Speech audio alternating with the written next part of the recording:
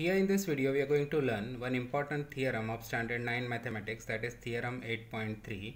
This theorem is not given with the proof in NCERT textbook. So here I am given you the proof. So be carefully see this video and learn this theorem with the proof. Let us see the statement of the theorem.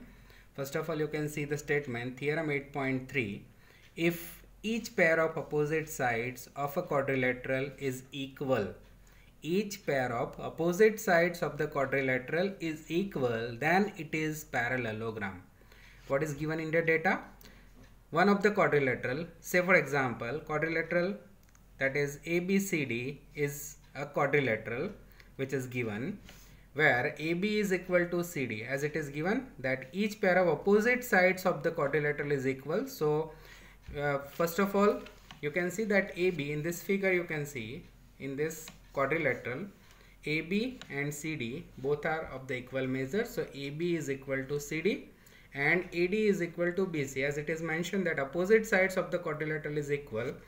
AB is equal to CD and BC is equal to AD. This is given in the data or it is given. Now to prove this quadrilateral ABCD is a parallelogram. We need to prove that this quadrilateral ABCD in which AB is equal to CD and BC is equal to AD given, this quadrilateral is a parallelogram. Let us begin with proof. Let us see. First of all, I'll join this this is a quadrilateral only given then first of all you have to join this AC so I will write it here that is join AC in such a way that AC is a diagonal. Of the quadrilateral you can see it is a diagonal of the quadrilateral. If I draw this AC diagonal then you can see this quadrilateral ABCD has been divided into two triangle. Then let us compare or let us try to take the correspondence between these two triangle.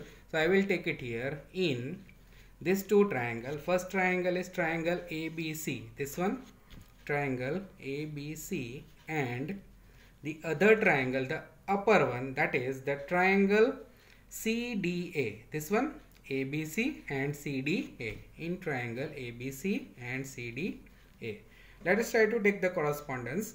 What is given in the data? In the data for this particular triangle side AB and for this particular triangle side CD both are equal as it is given in the data. So I will write it here AB is equal to CD why is it so I will write it here in the bracket because it is given another thing that in this triangle this side BC and in this triangle the side AD are also equal as it is given AD is equal to BC. So I will write it BC is equal to AD. This is also given in the data.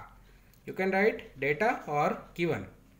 Now another thing is that in this triangle as this and this sides are equal, this and this sides are equal for this two triangle and AC is the common side for both the triangle. So I will write it here that is AC is equal to AC or I can write it CA that is common side.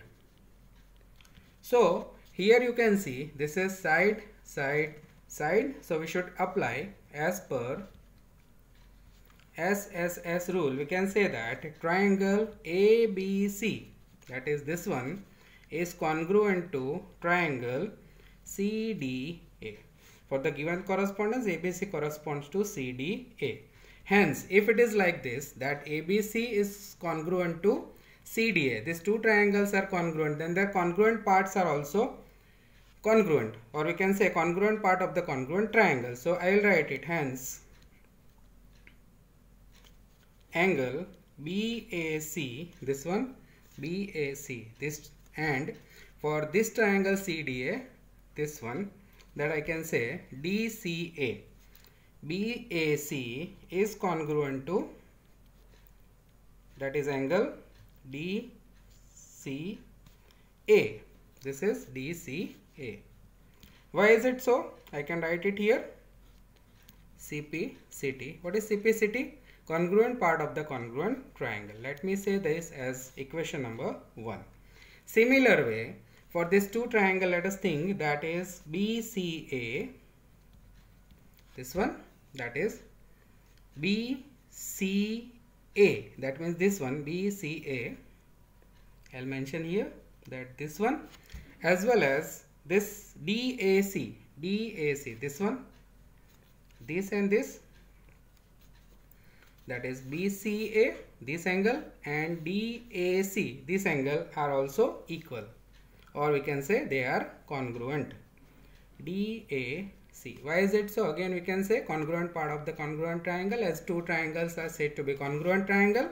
Let me say to be equation number 2 now let us write it for first of all for let me say line that is line AB and CD. Just think about it. This line AB and line C, CD are the lines with one of the transversal I'll consider that AC is considered as the transversal. Let us see here AB and CD are two lines and AC is a transversal then as per the given data that this one that is BA this one BAC BAC is congruent to DCA these and these are congruent. So we can say as it is transversal then we can say that angle BAC and this DCA angle DCA are said to be alternate angles. Why is it so? As per equation number 1 we can say that these two are alternate angle and we know that alternate angles are always congruent. If two lines and a transversal it forms the alternate angle which are congruent then we can say that the lines are parallel to each other. Hence we can say that therefore I should write it that is AB is parallel to CD AB is parallel to CD why is it so? Because we have taken that line AB and line CD consider as the two line and this AC is a transversal. Then you can see it makes Z. Means this angle and this angles are pair of alternate angle and if the pair of alternate angles are congruent then both the lines are considered to be parallel lines. So that way we should write it that AB line is parallel to CD now let us consider for the other. Let me say here that is for line AD and BC let us see here. This line AD and this line BC. As we have taken, these are the two line and again AC is considered as the transversal. Then again you can see here it forms the Z. Then this angle and this angle are considered as the pair of alternate angle. And pair of alternate angles are congruent. Then these two lines are considered to be parallel lines. So I will write it here. AD and BC are two lines and I can say that AC is a transversal. Then we can say here two angles form as per equation number 2 I can write angle BCA is congruent to that is DAC and we know that BCA I can even write it BCA and angle DAC both are pair of alternate angle.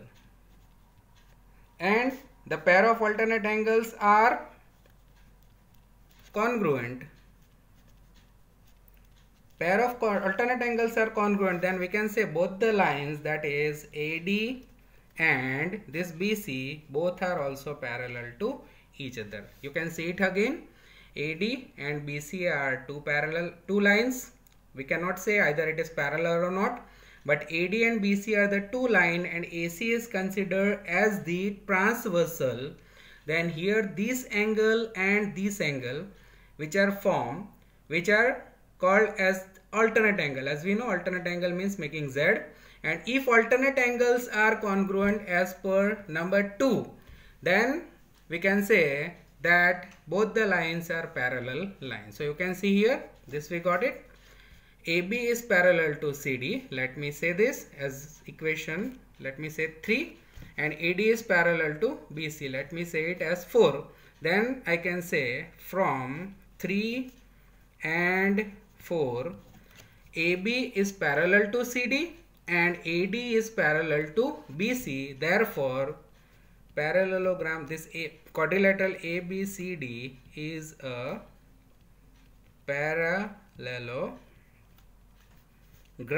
because the opposite pair of or we can say the pair of opposite sides are parallel hence the quadrilateral is a parallelogram. I hope it is very easy and you can write it in exam very easily.